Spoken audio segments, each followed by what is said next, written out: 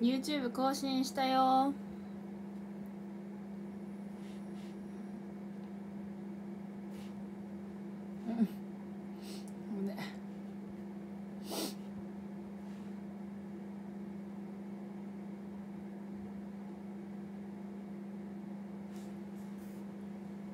これはクラムチャウダーです。冷製スープ。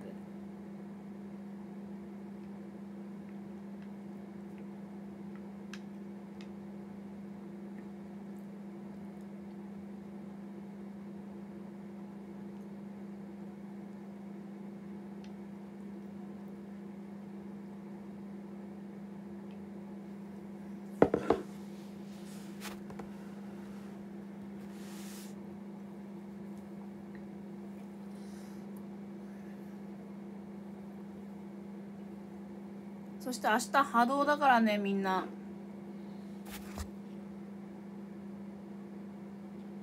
顔が疲れてる。今日めっちゃ疲れた。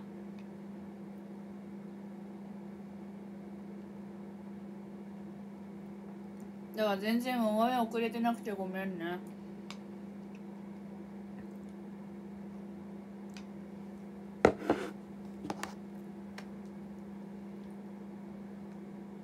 いや全然遅れてないんじゃない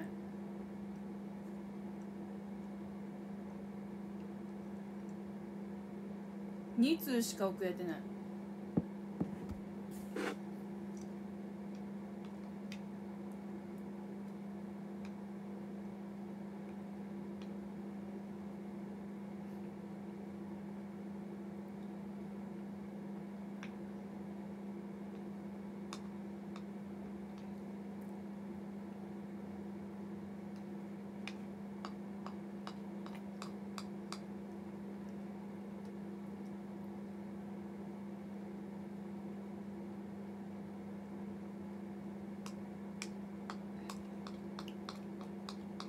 え嬉しい今回の YouTube 感動してくれたの？いや珍しく YouTube をいつもねチェックしてくれてる人がいるんですけどいつもなんかこことここを直してくださいみたいな。それだけだったんだけど今回はなんかいい動画でしたみたいな。言われた。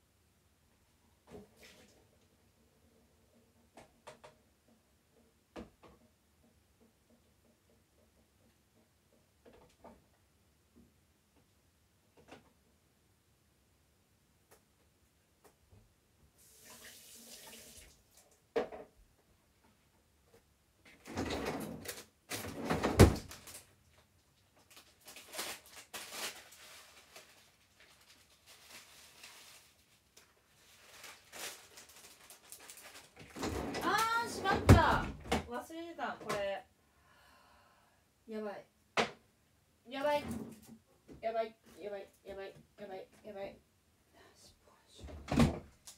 うわいける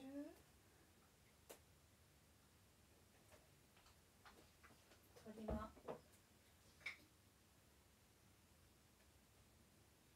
うわーこれ買うの忘れてたま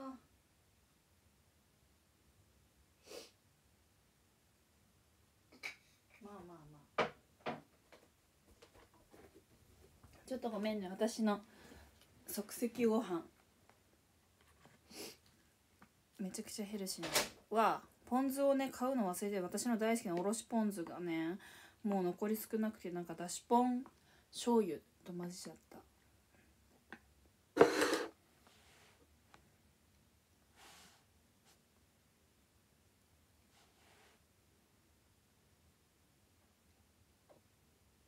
いい動画だったって嬉しい。ファンのみんながそう言ってくれるのは嬉しいですね。やっとご飯。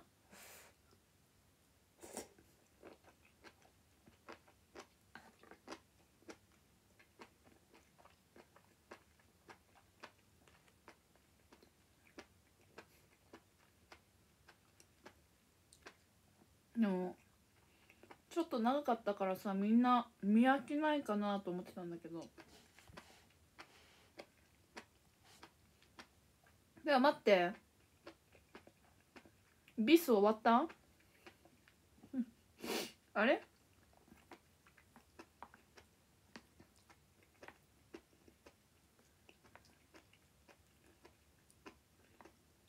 ビス終わっとる。ねえ待って嘘でしょ。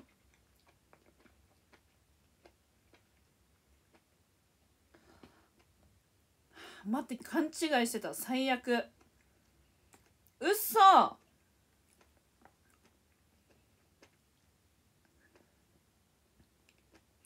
うわ慌てて戻ってきたのに。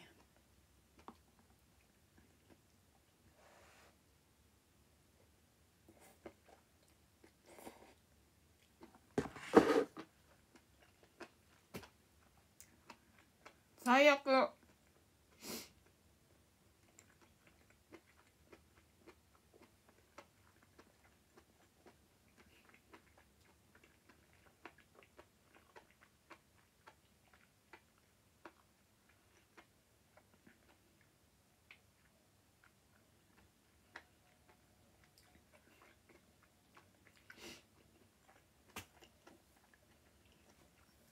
皆さんに言わなきゃいけないことがあるんですけど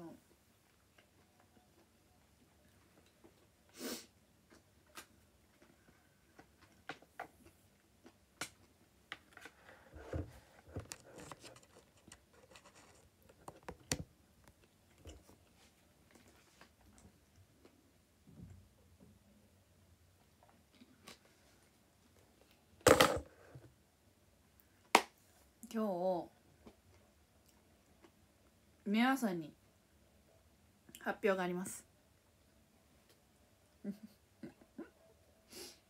日私がなぜ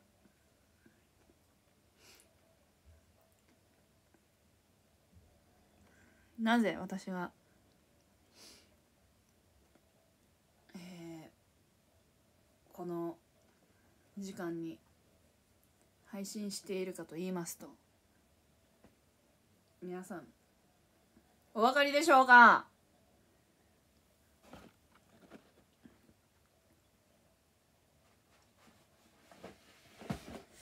ドゥドゥドゥドゥドゥドゥドゥドゥドゥドゥドゥドゥドゥドゥドゥドゥドゥドゥこれを買ってきていたんですさん。私はなんと iPhone14 デビューです。ありがとうございます。私は何色にしたでしょうか。もうこれがねめちゃくちゃ時間かかって。もうえ昼ぐらいに終わるはずだったのにめちゃくちゃ時間かかって。もう閉店まで。え私56時間いたと思うよ店に。わーと思ってもう私ずっと変えてるの点数だったからもう4年ぐらい使っててもう絶対変えてやると思ってでこれでさ YouTube も撮れるしもう画質も良くなるわけよ。でなったらもうさ YouTube 用のさカメラも買わなくて済むわけじゃん。それぐらい機能がいいわけだからうわーと思って私が買った色はじゃーんープルかわいいパープルです。パープルを14なんか本当は iPhone14 にねしたか14 Pro にしたかったんだけど YouTube のことも考えて売ってない。どこ行っても売ってないの。うわーと思ってもうめちゃくちゃ高かったよ。めちゃくちゃ高かったけど私はもう4年間もうこの方がね頑張ってくれたからしかも YouTube もあるしって考えたらもう YouTube の機材を買うお金をこっちに継ぎ出したって言ったらもうこれでいいと思ってそう Beautiful Purple です。これを一緒にもうねこうやって。こうやって。もうこれでみんな今度から YouTube 撮るからもうマジで絶対画質やばい。めちゃくちゃ最高にやばい。ただまだあの移し替えられてなくてもうほんと閉店間際まで行ったから。もう本当にだからね私ねお腹ずっと空いてもう空いて空いてやっと帰ってこれてやばいビス間に合わないと思って慌てて帰ってきたのに見て終わってた。もう最悪。ということで今度から私のことを iPhone14 と呼んでください。ありがとうございます。iPhone14 千代です。プロじゃない iPhone14 千代。よろしくお願いします。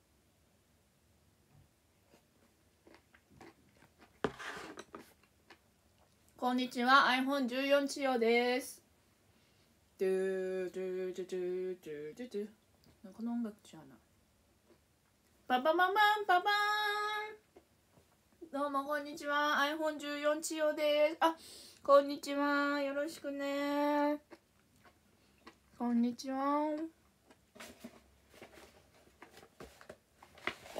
うんうんうんうんうん。うんここ最近やばいよ。だって。この配信してるこの iPad も水没しちゃったからさわざわざ買ってさこれも買ってさめちゃくちゃお金使ってる。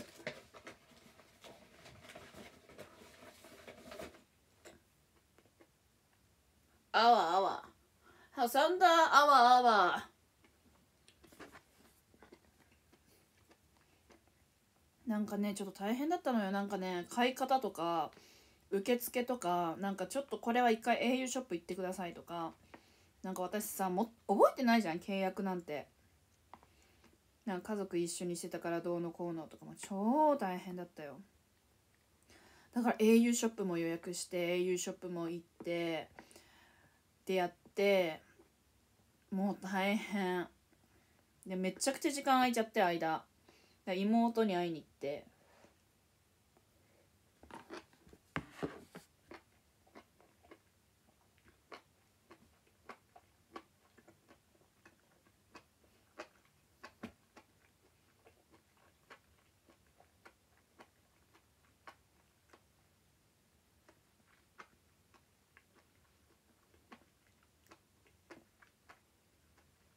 大変めちゃくちゃしんどかったけど今日一日は本当にいい日だった。だっていずれはさこれ買い替えるわけだからさ今日ねガラガラだったの。月曜の昼っていうのもあったからかな。iPad 買いに行った時やばかったんだけど。お姉さんめちゃくちゃ優しく教えてくれて。今日めちゃくちゃいい一日でした。お昼はランチしててその後にこの iPhone 予約しててでもう契約とか変えたかったから au ショップにも行くタイミング作れたしでその空いてる空いてる時間は妹のずっと行きたかったバイト現場にも行けたしでその後 au ショップ行ってでちょっといろいろ購入したりして今です。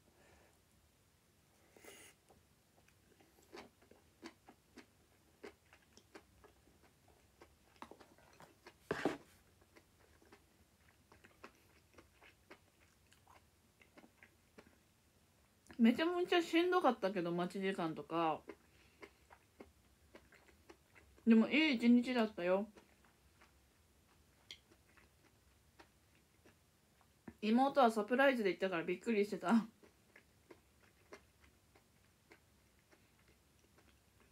今度は妹とかまあ本当はお母さんも連れて行きたいけど家族も連れて行きたいけど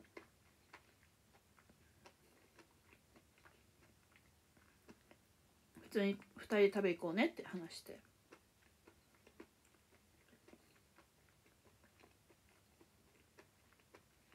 うんうん。ちおちゃんね見てきていいですか？いいよ。見てきな。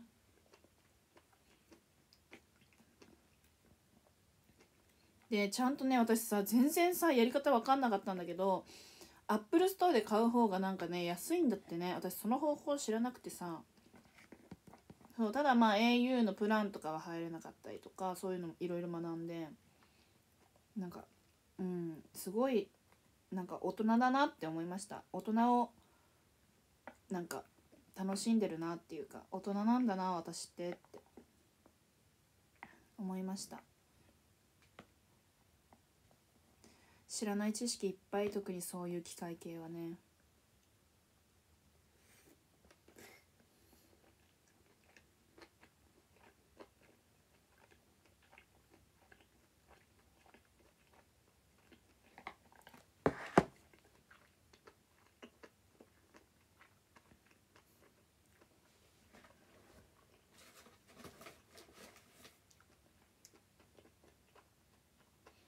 これさマスクの上で巻くんだね。知らなかった。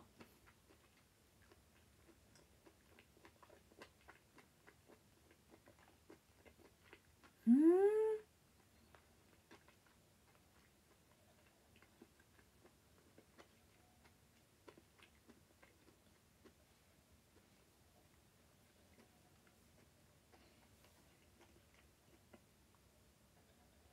やば。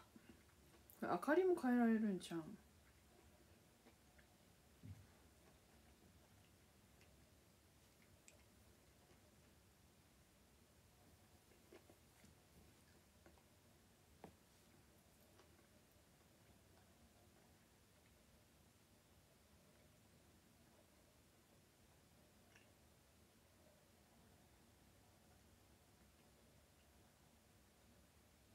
わかる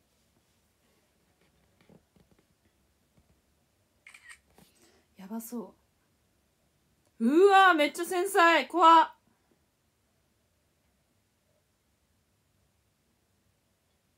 普通でいいな。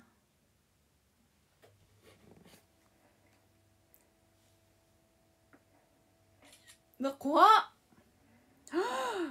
Oh my god めっちゃ繊細。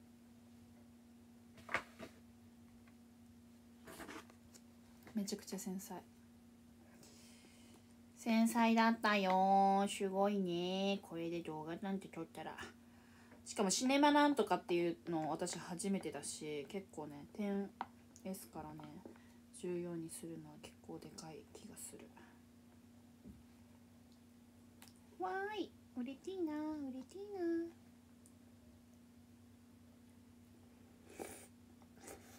うん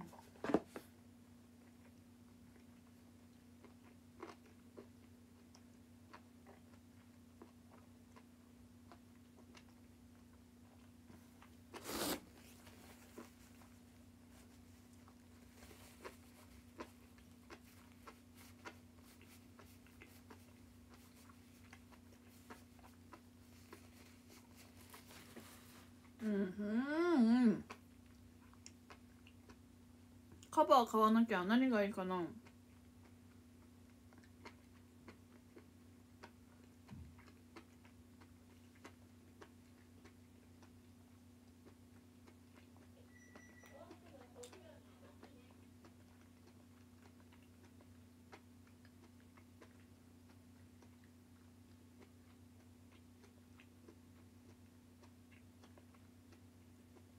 ーん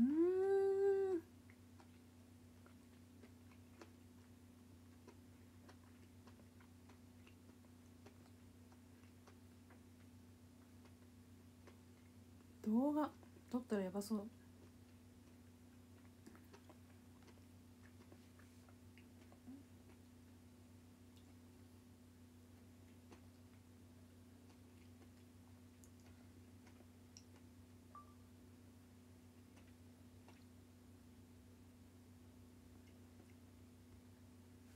これやばいよ。うわ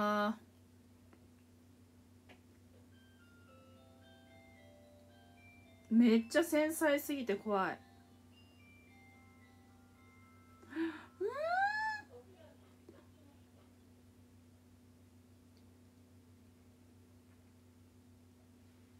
これすごいわ。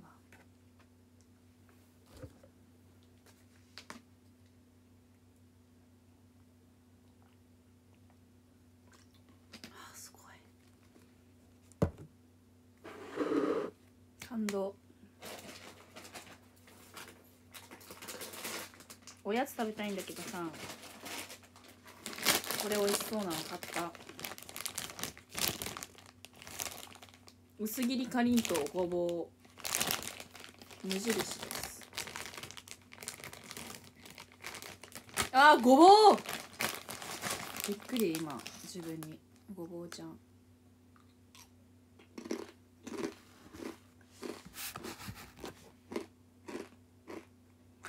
めっちゃごぼう。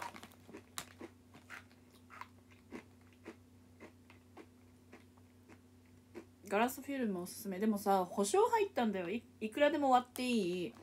保証。3000円ぐらいで買えてくれる。だったらなんかさ安いフィルムの方でもいいんかな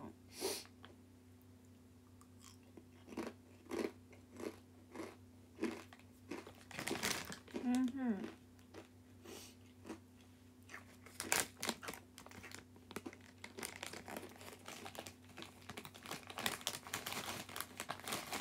と言われたお姉さんに「これいくらでも割っていいですよ」って。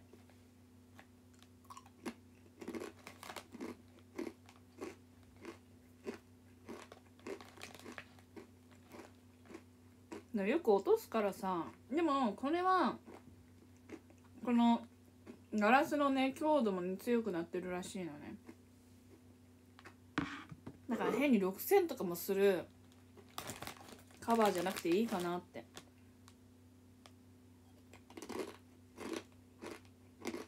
うん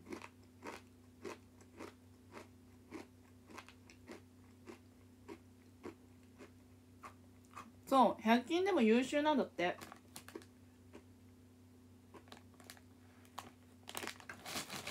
なんだったらねもうカバーもつけない人もいるんだって。でもそこまでの勇気は私にはないですってお姉さんが言って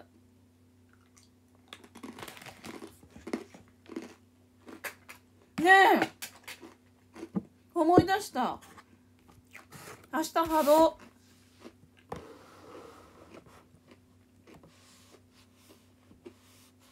みんなどうにかして。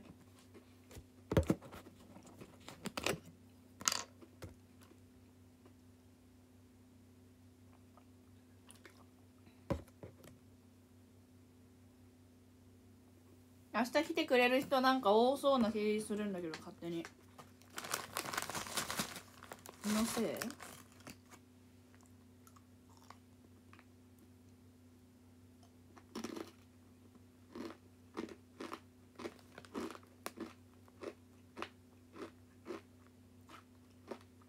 早朝に渡してたま。ジョーチャンネルもね。だってさ思うあの昨日ねなあちゃんが誕生日を迎えたじゃないですかショールームで。私見てたんですよ。で普通に見届けであの切ろうって思ってたんだけどなあちゃんとゆうちゃんのあの真剣な話が結構私の心にもぐさぐさ入ってていい意味でね。うん。なんか背負ってるものがすごいなって思ったの。感動しちゃって。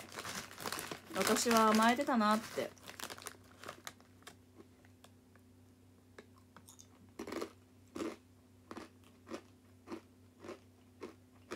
うんあんなにさ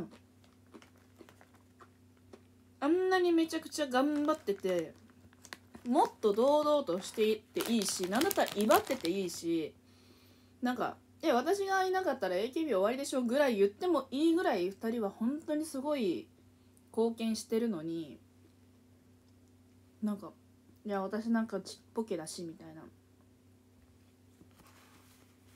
なんかうん。これはみんな応援するわって思った。めちゃくちゃ。うん。てかあのショールームをみんな見た方がいいぐらいもっと絶対2人のこと好きになるだろうなって思ったショールームだったの。だから最後まで見ちゃって私。お風呂上がんなきゃいけないのぼせそうになって。見て。か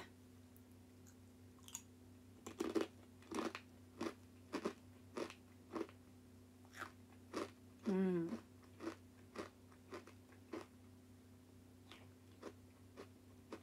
けよあの二人。うん。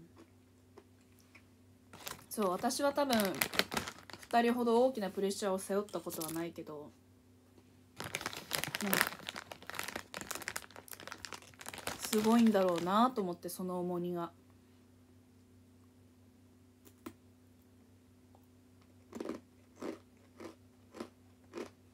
でそう思った時によくなんかそういうとことをしてないって言ったらあれだけど2人に比べたらそんな何もしてない私のことを応援してくれてるファンの人って本当に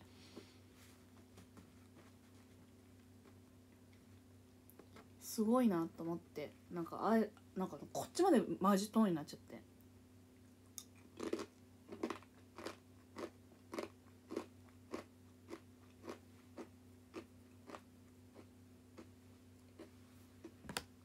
私はなあちゃんみたいにもなれないしゆうちゃんみたいにもなれないけど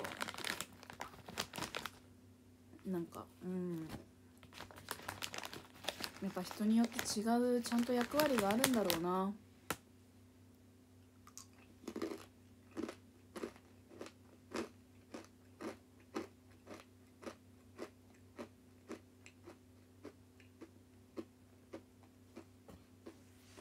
すごいよあんなに若くてさ心もメンタルとかもさ別に強いわけじゃないのに AKB のセンター背負って。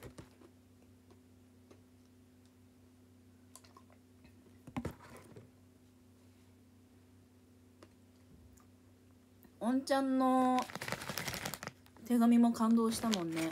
私もなあちゃんとかおんちゃんとかのイメージさめっちゃ優等生、ま、真面目な子って思ったわけ。だから私とかけ離れてるから絶対私とは交わらない人間と思ってたんだけどなあちゃんもなあちゃんの中で下ネタが大好きとかさ例えばよ。そういう自分の中の本当の自分をささらけ出せなくて辛い時期って本当にめちゃくちゃあったんだろうなって今になってさ思って。おんちゃんも総監督とかさ。旗から見たら総監督すごいみたいな。大活躍じゃんおめえって思うけど。裏にはもう目に見えない重いプレッシャーとさ周りから与えられる期待となんか自分がこれで正解なのかっていう分からないさ不安とさめちゃくちゃあったんだろうなって。うんりんちゃんもおめでとうって言ったの。飲み行きましょうって言われた。楽しみ。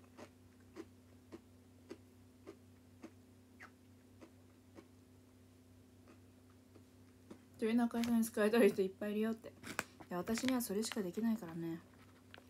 そう AKB のセンターとかさ AKB をなんかまとめるとかさそんなことを私にはできないけど。なんかなんかそういう人がさしんどいなって思った時にさちょっとでもなんかなんか千織がいてくれてよかったって思えるさ瞬間があるだけでだいぶ違うじゃん。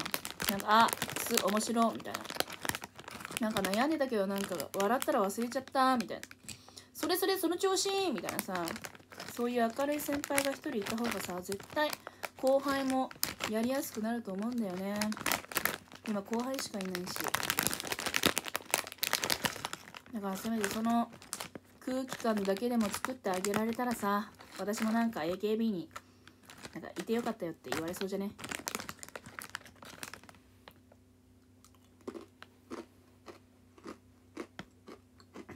うんチャンネル登録しましたって。ラブチ。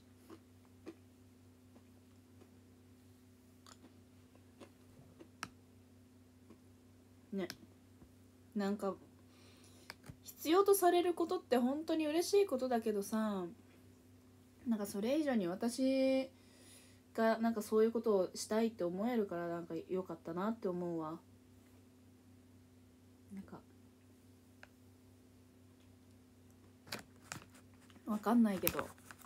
ちょっと自分の感情もちょっとよくわかんないけどとりあえず私にできることもう12年目なのにさ。12年目でたどり着いたのがそこだからね。みんなの居場所を作ろう。明るく現場をするぞ。これだよ。12年目にして。もっとあっただろう。AKB に対してさ何ができんの？えー、っと笑顔を届けることです。そうファンだけじゃなくてメンバーにも笑顔を届けること。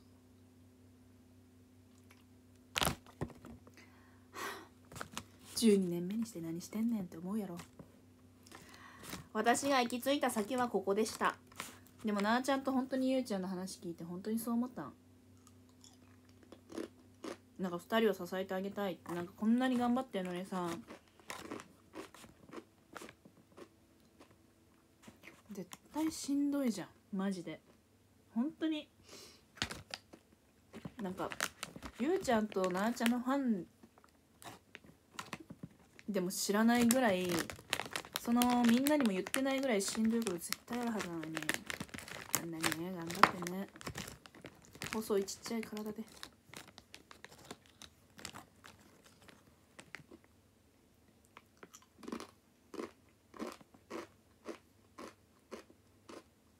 うんうんまっ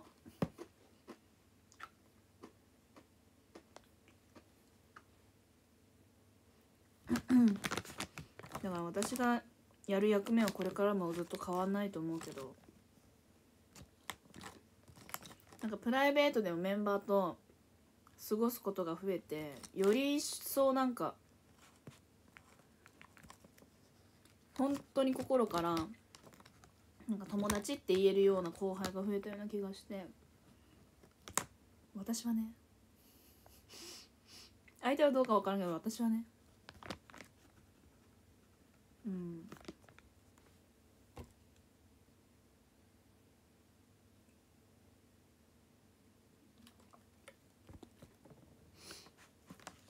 美味しいな。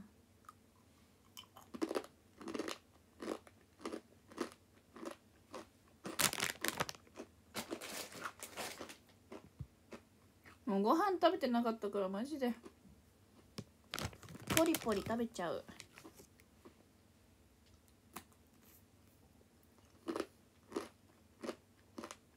だからとりあえず何が言いたいかってそんなになんか目立ったこととかしてないのよ私自身はね。AKB のセンターでもないし選抜でもないし CM とか出てるわけでもないしなのに私をこん中から見つけて私だけを応援してくれるって奇跡じゃないって話。それをゆうなの話聞いて思ったの。だからちょっと言葉にした方がいいって言ったじゃんなあちゃんが「愛してるよ好きだよ」とかさなんか言葉にした方がいいって言われたからちょっと言葉にした。普段は言わないこんなこと。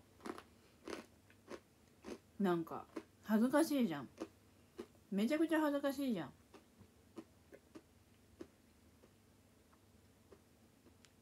なんか私はメンバーのなんかそのカメラが回ってないところとかでもプライベートでもなんか支えたいなってそう思ったんだよね。12年目にして。恥ずかしくない？言わないよ。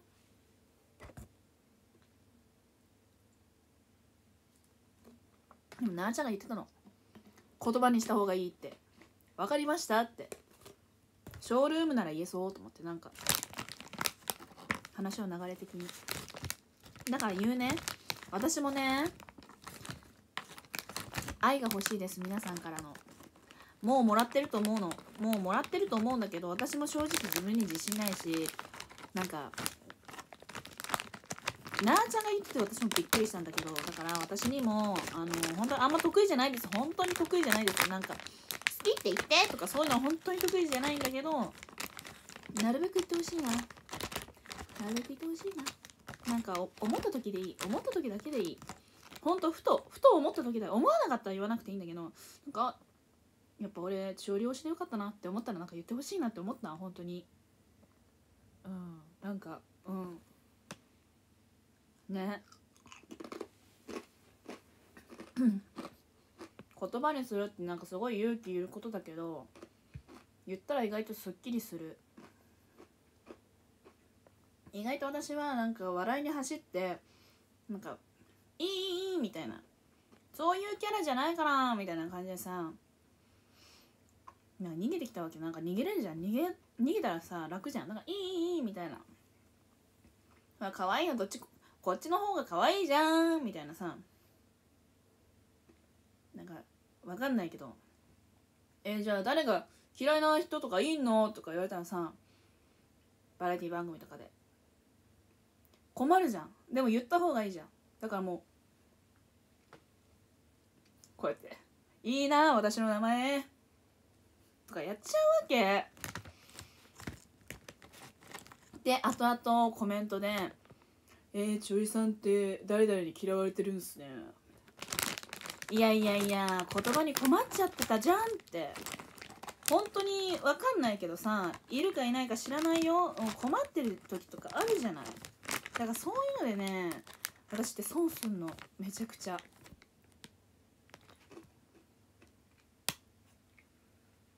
そういうのをさこう別に言わないしさ外に。なんかそれ私やったんすよ。とか言わないじゃん。だから変に勘違いされてなんかあれ？みたいな思われることがね過去にもあったの。今だから言うけど。うん仕方ない。それはもう仕方ない。だからもう全然ね叩かれようがねもうしょうがないなって思うんですけれども。なんかね言葉にするってやっぱ大事だね。みんなやっぱ意外とさ言葉にした方がなんか強いってそう思ってたんだ。意外だわって思うじゃん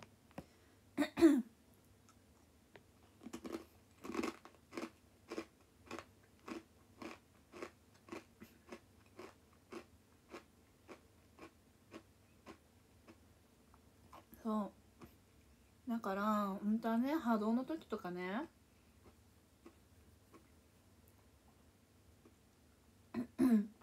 なんか「ボールください」とか「うん、あれだしボールありがとうございます」っていうのもなんかさなんかあれだしと思ってあんまうまく言えないんだけど本当は感謝してます。ありがとうね。みんなポチポチしてくれて。嬉しいよ。ポチポチしてって言ってからちゃんとポチポチデータ？ゲータ？上がってた。嬉しいなと思ってみんな見てるのかなって。嬉しくなったの。だから言うね。ありがとう。こんな言い方のありがとうしか言えないけど本当に心から思ってる。ありがとう。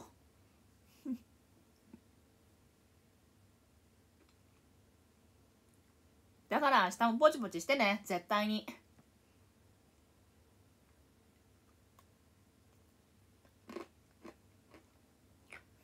不器用で可愛い不器用でごめんな。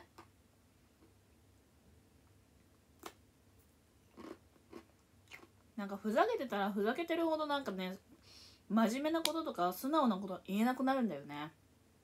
だから「千代のくせになんかおもろくないこと言うてまんがな」みたいなさ。言われそうじゃん。だったらちょっと面白おかしくさなんか真剣な話も言っちゃうわけよ。そしたらなんか千織ってそういうこと言わないよねみたい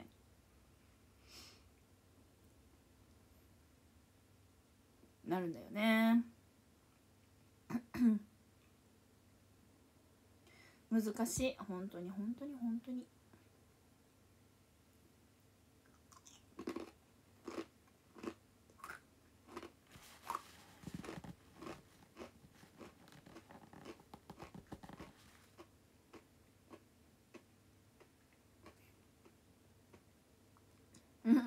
最近ナーチオだって。ナーチオ？暑いですってありがとう。嬉しい。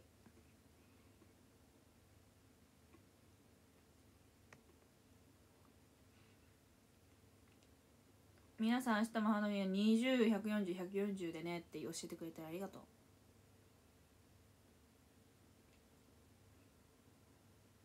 試合してない時ってコメント見るいや多分ね私たちじゃなくて多分あの MC の2人が多分読めてるだと思います。お笑い担当って損だと思ったことないのかな？損だと思うことばっかりです。損しかないよ。損しかない。もう12年経って言うのもあれだけど。でも私はそれでもなんか人を笑わせたりそういう風にすることがやっぱ好きでなんか自分のなんか自虐とかで笑われようがなんかそっちの方がいいなって思ったのなんかそっちの方が私らしく入れる？なんかそうじゃなくて分かんないけどもう清楚でおしとやかで本当はこんなことしたいのに我慢してアイドルして「あは?」みたいに言ってたらももしかしたら今より全然人気あったかもしれないけどそれでも多分ね壊れてたと思うそうしてたら。なのでもうあこれそんなキャラクターだったんだなって気づいたとしてもだからこのキャラクターやめようとかそういうことはなかったかな。そんなの？面白いから入って好き。あだからそういうふうに言ってくれる人ももちろんいる。もちろんいるからファンの方がいるんだけどやっぱりこう全体的に万人受けするって言ったら万人受けしないしやっぱちょっとした汚れ役とか 言い方汚れ役とかをやるのはそういう系のバラエティーとかそっちを頑張ってる子たちだしまあなんかこうそのバラエティーの中でさあんま良くないこうランキングとかあったりするわけじゃん。性格悪そうな人とかすっぴんがブスなメンバーとか。やっぱり言いやすいっていうのもあって上がられるんだよねそこら辺にね。でこっちもさ「おいおいおい」みたいな。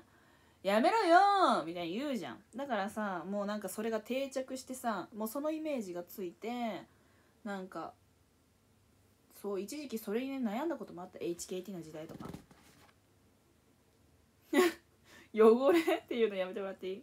そアイドルの中でもさいろいろあるじゃん。そういう体張り役とかさ。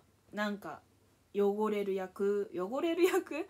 なんかクリームかぶるとか。私はそれ美味しいと思ってたから全然良かったんだけどまあある時気づくんだよね。なんかあやっぱりこれ損してたんだみたいな。イメージが先行しすぎてなんかそれ以外の魅力を受け入れてもらえない時期みたいな。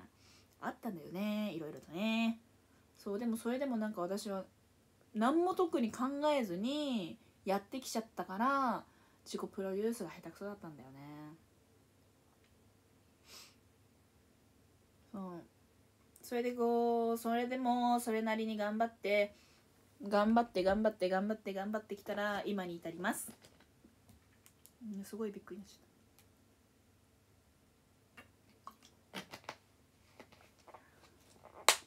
って感じ。ざっくり言うと私の12年はこんな感じかな。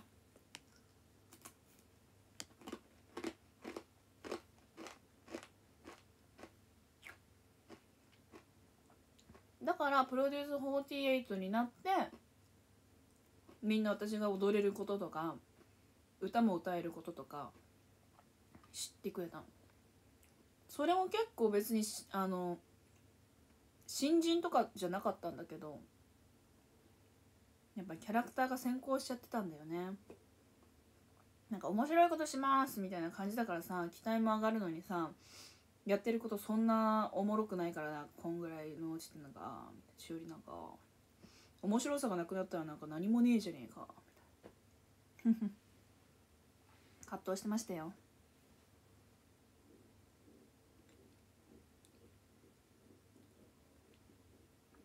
だから面白くないと思ってる人がポンっていう面白さってめちゃくちゃ面白いじゃん。そっちの方がね価値があるんだよね。って私は思いましたよ。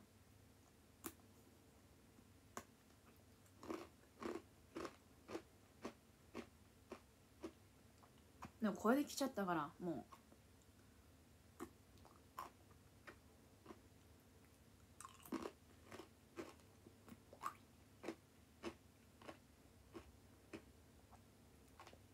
それで気づいたらメンバーとか身近な人の笑顔とか元気を与えたいっていう気持ちになってた。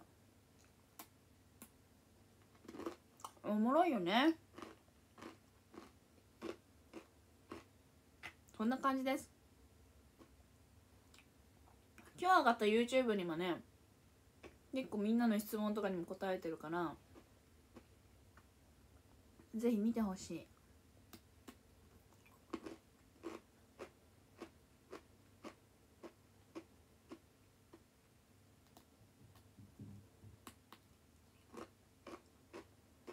うん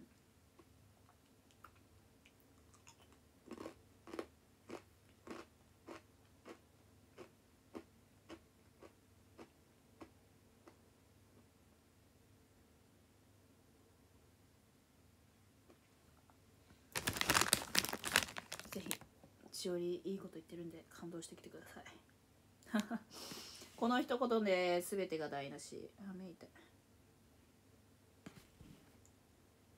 あ YouTube コメントしてみるよ見ます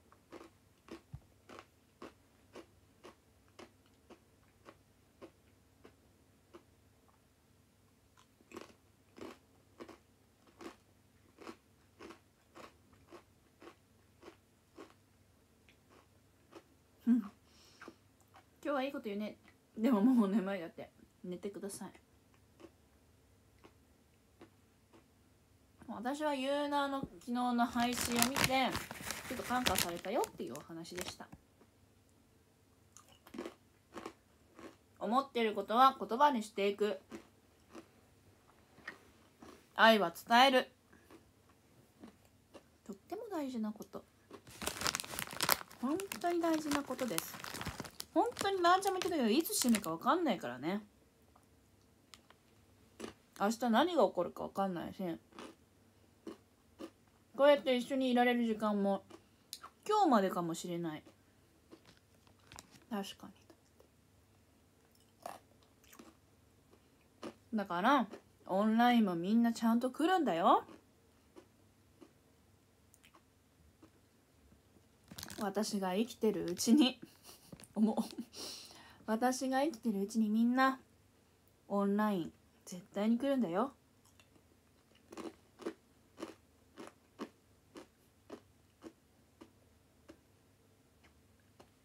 いつかきっと会えるだろうと思ってなあなあにしておいたらすってそういう人こそいなくなっちゃうからね。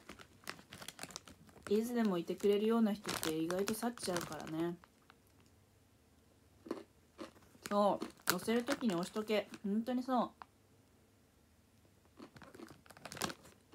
う。うん。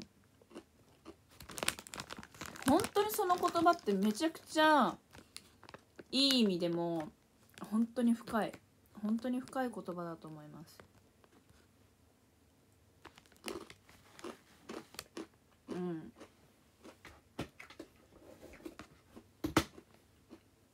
押せる時に押してください。好きなうちに好きでいてください。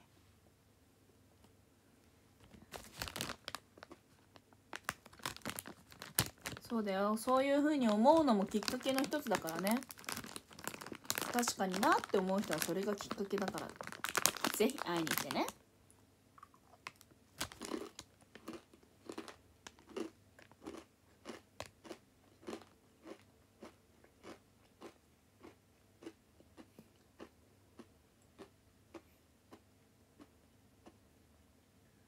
明日は波動です。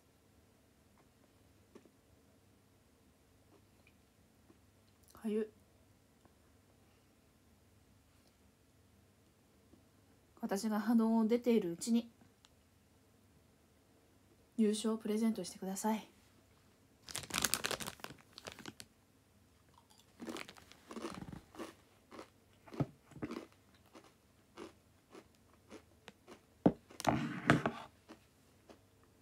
うんそうだシム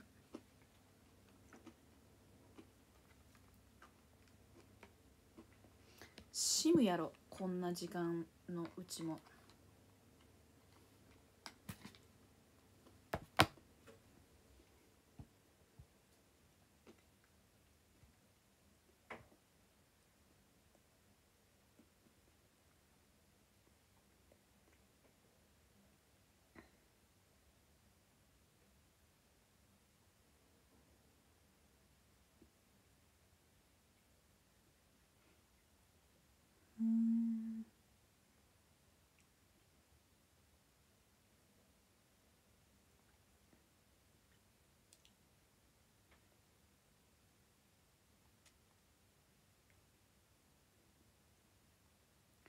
しむしむしむしむ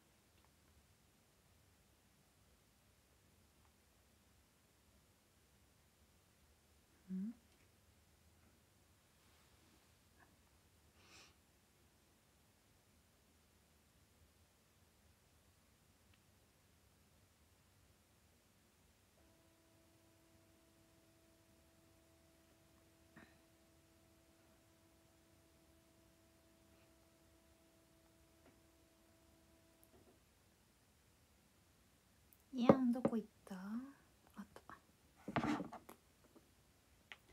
本当にみんな会いに来てね。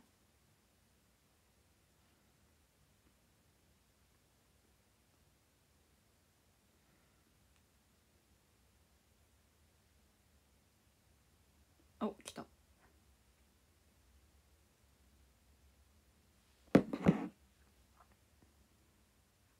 てことはうん。シムを変えよう。明日行くからよろしくだってわーい。他の男男じゃない。他のメンバーに渡したら許さないかな？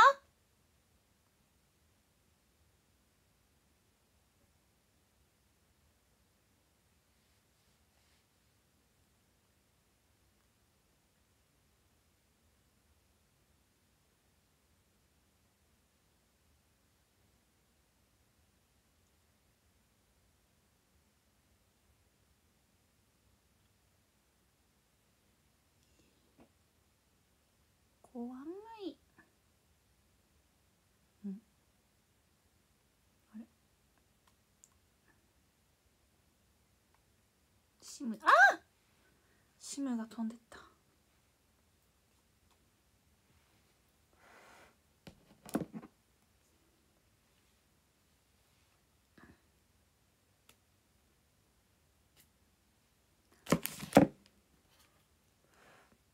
合ってる？なんかシムの貼り方。あんまり分かってない。んだけど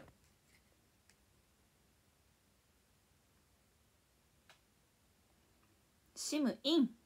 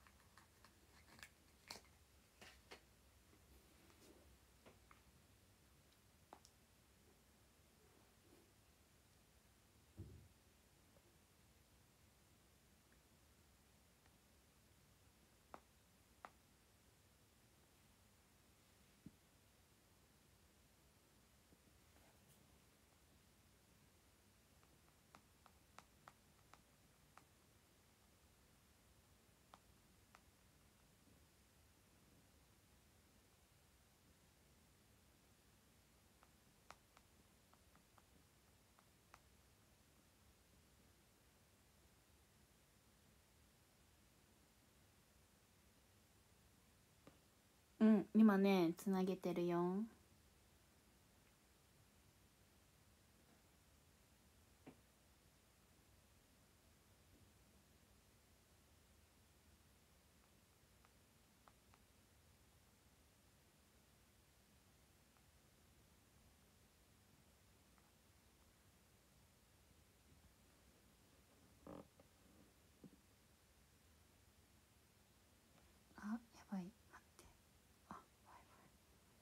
W i f i これさこっち SIM ないんだけどさ w i f i できない感じ？もしかして。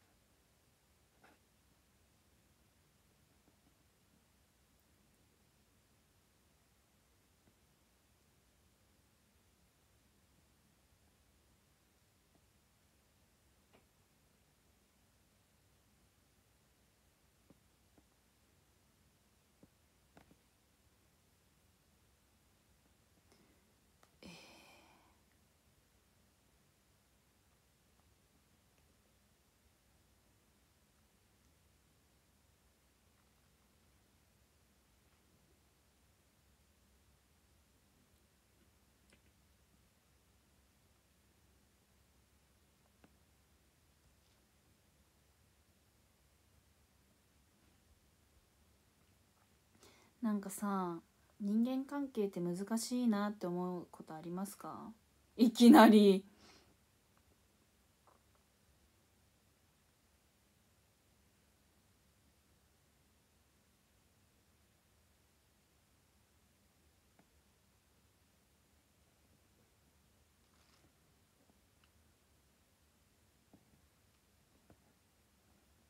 めちゃくちゃある。あ本当に？なんかさ変わった人とかってたまにいるじゃんうん私なかなかね人生相談というかその人間関係をまあうまくやれる方だと思ってたんだけど、まあ、悪い悪くなってるわけじゃないんだけどね私の中で「ん?」って思うことがあってなんかまあその子はあのーまあ、何回か会ったことはあるんだけどなんか2人でご飯行ったりするのは1回。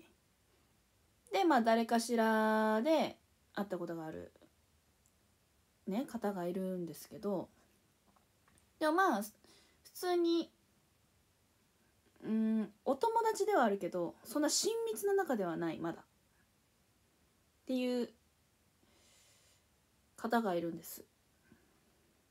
でその方のお友達と、まあ、3人でご飯した時にそのもう一人の方年上の方だったんだけどめちゃくちゃ話がなんか私が知りたいなんか美容の話だったりとかなんかそういうちょっと私が相談したいこととかこの人だったら相談答えてくれそうだなってちょっと信頼のおける感じの方。がいてで私その方とあの2人っきりでちょっとランチ行きたいです。ちょっと相談乗ってくださいみたいな感じでその方とあの後日ランチに行ってちょっと私が聞きたいお仕事の話だったり今後私こういうこともなんか興味あるんですよねみたいな。なんかいろんな相談をしたの。通に。でまあその方とご飯するのすごく楽しくて。でもうぜひまたあのランチしてくださいみたいな。お話ししたのね。そしたらその方がなんかその後にその合わせてくれた方とまあなんか会う約束が会うあるって言ってて「あそうなんですね」みたいな。言ったらなんか「あでもこのこと言ってた方がいいのかな」みたいな。なんかその千織ちゃんと一緒にいたよっていうことを言わなきゃかなみたいな。で「あえなんでですか?」みたいな。言ったらなんかその子はそのなんか自分が知らないところで会われるのが好きじゃない。みたいな。だからあの会ったら報告しないといけないんだよね。っていうこと言ってたのね。ん？と思って。あーじゃああの是非伝えといてください。と思って。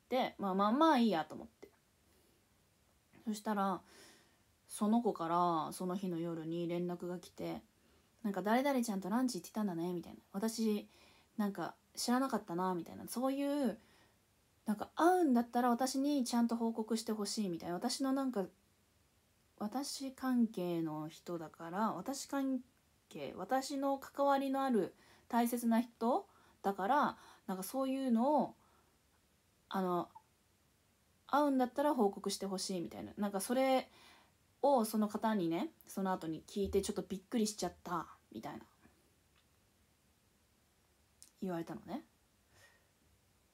あえと思って。なんで私束縛されてるんだろうと思って。私束縛束縛っていうかなえそれはだってさここのお話じゃない？ってちょっと思ったの。でもまあ一応その紹介してくれた方だしだから私があのあのこうこうこういう相談とかあのこういう話ちょっと聞きたいなと思って多分またその方とは会うことになると思うみたいな素敵な出会いをくれてありがとうみたいな感じを言ったの。そう。そしたらなんかでもそのしおりちゃん以外の方からは報告もらえてるのになんかしおりちゃんは全然言ってくれないしなんか私の周りの大切な人たちだから言ってほしいなみたいな。そうことを言われたのね。こういうことってよくありますか？私初めてだったからどうしたらいいか分かんなくて。何が正解かが分かんなかったからちょっと相談みんなに相談。いろんな人がいるから。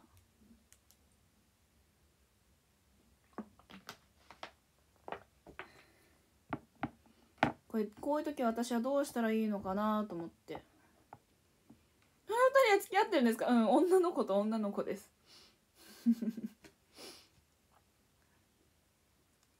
そう初めてだからそういう人に出会うのが。ちょっとなんかちょっとでも私がさへましたらさすごいやばいことになりそうじゃない？ちょっと予兆的に。うん。やきもちうん多分ねやきもちなんだと思う。多分その子の知らないところで誰かが会ってるっていうのが自分の大切な人だからなんかなんで私に報告しないの？みたいな。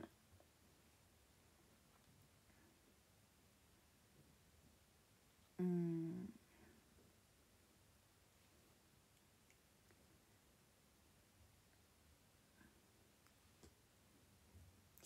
取られたという気持ちになっちゃうってことなのか。そういうことか。うん。10代の頃はあったかも。10代ではないんだけどな。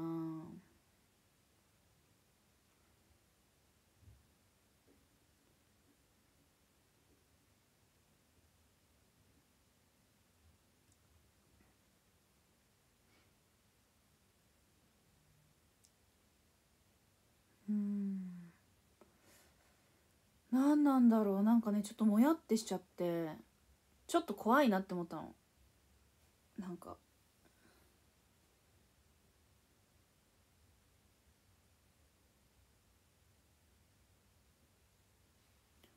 うんなんか人付き合いって難しいなと思ってさ。私の周りにいないタイプの人だったから。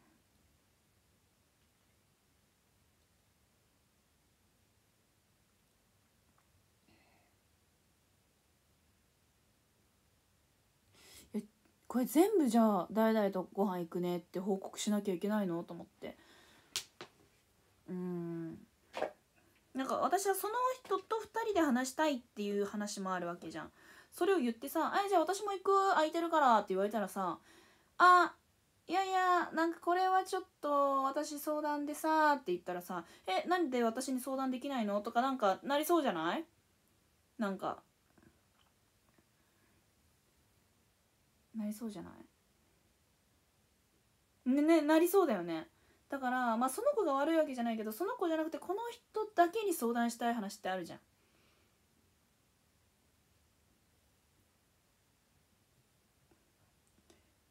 だからじゃあ今から明日の何時に会ってくるね？とか明日な何々ちゃん会ってくるよ？とか言ってさえー、何時にどこで会うの？とか言ってあここら辺だよって言ったらああ私空いてるし行く行くみたいな。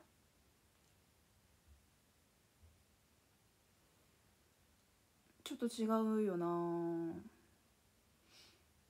なんかその子のこと嫌いじゃないしむしろなんかありがたいなこんな出会いをくれてって思っているんだけれどもこの気持ちが嫌いとか苦手だなってなったらもう終わりじゃん。なんかそういう予兆っていうかそういう事件が起こりそうすぎてそうなりたくないのよ私は。そのことのことを嫌いになりたくないしなんか好きなままでいたいんだけどなんかそういうことがあると好きでいられる自信がななさそうだなっていう。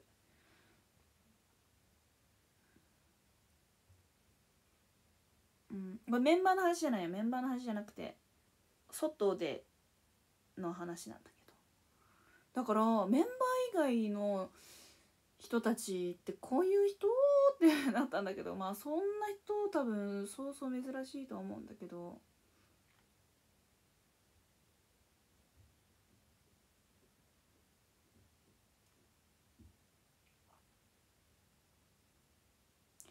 そうだね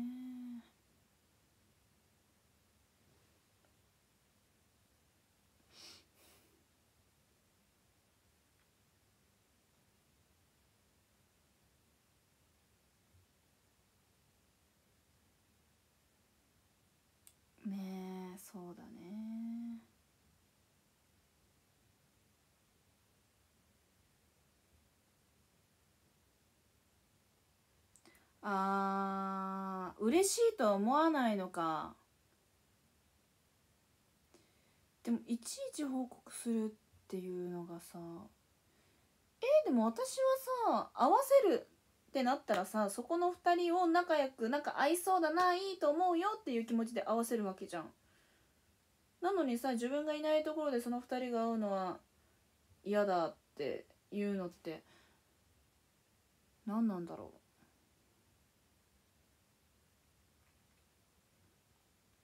自分含めてその人と会いたいってことなのかな？じゃあ常にその人はいなきゃいけないのかな？でちょっとねふと思ったの難しいなって。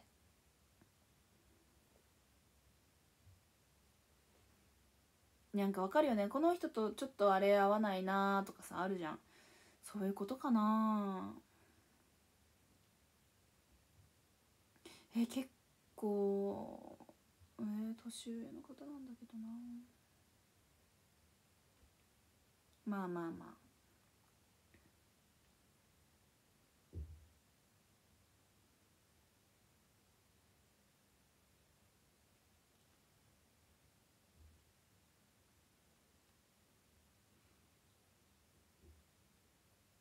まあ、やきもち焼くのはわかるんだよ。なんか可愛らしい言い方わかるじゃんね。そこが合うなら絶対私もさ今度は誘ってねみたいなさ言い方だったらいいんだよ。なんかそういう言い方だったらいいんだけどなんかガチ。ガチ。なんか。えってことはちゃんとさ今度からちゃんと言ってね。うんあ分かるけどなんか合うんだったらちゃんと言ってね。みたいな。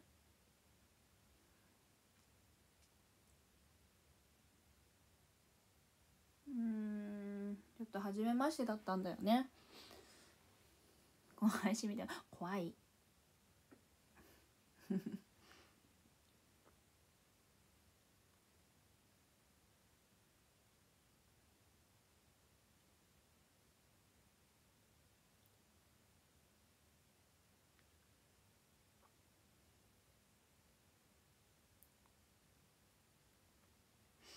まあまあまあ。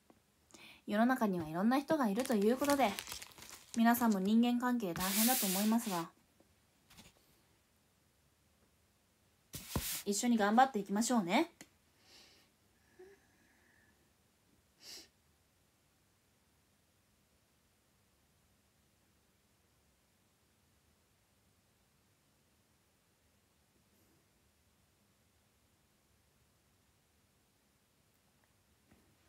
というお話でした。あやばいもうこんな時間。ちょっとみんなランキング読むよ。13位さ12位コバマコ10位ゴルゴンゾーラ。10位一乗寺光あと千代。9位ボブあと平和主義。あなんか変わってる。iPhone14 美少女調理星8位アリナあと千代ちゃん愛してる。やんだって。ラブユーラブユーラブユー7位水木6位ありさ5位悟岡田4位秀と北海道。3位猫ドラメンあと40おっぱーおっぱー。2位みゃわ1位神津あと中の王子様です。とりあえずさみんな明日も強く生きてこう。世の中いろんな人いくからそれでも自分は間違ってない。自分は偉い。こうやって向き合ってちゃんと今日も生きてると思って生きてこ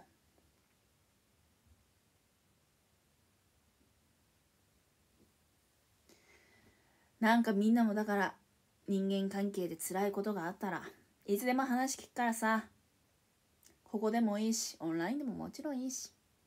どこでもコメントでもいいし。何でも言いて。撮りました。波動ポチポチしな。18時。うん。18時から18時半。うん。やってっからさとりあえず仕事中だろうとなんだろうとポチポチはしといて。なるべく現場に来てスーパーボールを千代のために取っておいてくれたらなおさらよし。だからそういう時はみんなポチポチしといてね。明日は千代のメンタルがおおおってなる可能性があるからみんなメンタルケアよろしく。でもとりあえずうちらちゃんと強く生きてくよ。明日も生きてくよ。千代も頑張ってるからね。みんな人間関係いろいろあるよね。頑張ろうね。もしなんかごたったらまた話して聞いてよ。なんかありそうな予感はしてる。とりあえず予感だけ伝えとく。起きちゃったらもう遅いんだけどさ。起きちゃったらここにネタにしていくよ。その代わり誰にも言わないでね。バレちゃうかもしれないからさ。